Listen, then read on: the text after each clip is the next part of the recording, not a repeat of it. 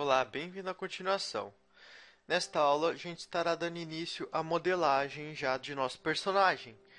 É, para iniciar, eu gostaria de estar fazendo a malha base, para coordenar os detalhes posteriores. Bem, se você viu a primeira aula, você parou mais ou menos por aqui, correto? Opção lateral. Eu vou adicionar um, um plane, Shift A, plane rotação X, rotacionei, apertei R, depois X, apertei 90 no teclado numérico para rotacionar ele para frente. Vim no modo de edição, com Tab, vou diminuir ele e vou ativar um modificador Mirror. Vou ativar o Clipping, o Clipping como vocês sabem, para que quando os vértices se, se aproximarem do meio, ele eles se soldarem automaticamente. Fiz uma escala no eixo Z. GZ. Vamos lá então. Vou movimentar aqui o vértice do meio. Vou selecionar na vista frontal. Puxar ele aqui na lateral. Aqui. Vou selecionar aqui na vista lateral. Puxar ele aqui. Correto? Agora o que eu vou fazer? Eu vou selecionar aqui o vértice, puxar ele. Vou aqui na visão frontal, deixar é, no modo wireframe. Apertei Z para deixar no wireframe. Correto. Agora eu vou fazer um, um corte Ctrl R aqui e outro aqui. Vou selecionar os dois simultaneamente. Aqui na visão frontal, puxar eles para o lado. Correto dar um extrude para cima, sempre ajeitando, ó, só na escala. Veja, ó. escala. Sempre observe como está ficando o seu objeto no ambiente 3D. No caso, eu vou rotacionar minha tela aqui, ó. Veja, ó, já tenho o formato inicial da minha barriga, ó.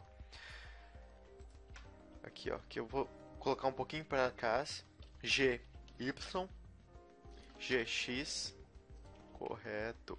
Vou voltar na visão frontal novamente. Deixar aqui.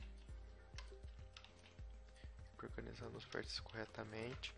Vou puxá-los novamente, ó. Aqui. Opa, aqui.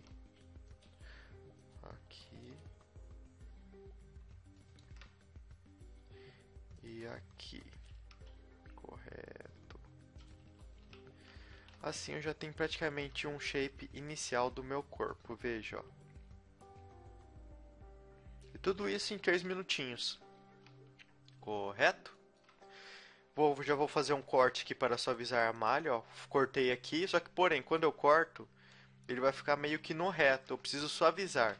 Vou selecionar o meio, segurei Alt e cliquei aqui para selecionar todo, todos os vértices, o loop de vértices. Se você não sabe o que é loop, assista às aulas de conceito e teoria. Jabelson, aqui. Correto. Vou ajeitar os vértices aqui. Aqui. Aqui. Também pode seguir a mesma maneira, ó. Se eu quiser utilizar só, só uma visão, posso vir aqui, como na visão frontal tem ele de frente, na visão lateral tem de lado, ó, eu posso fazer a modelagem dessas duas maneiras. Eu venho aqui na visão, ó, sempre colocando os vértices corretamente. Vou fazer um corte aqui, ó, e outro aqui. Correto? Vou vir na visão lateral.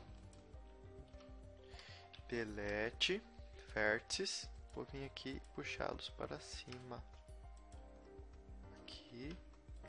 Aqui, ó, deixar meio redondinho, bem redondinho.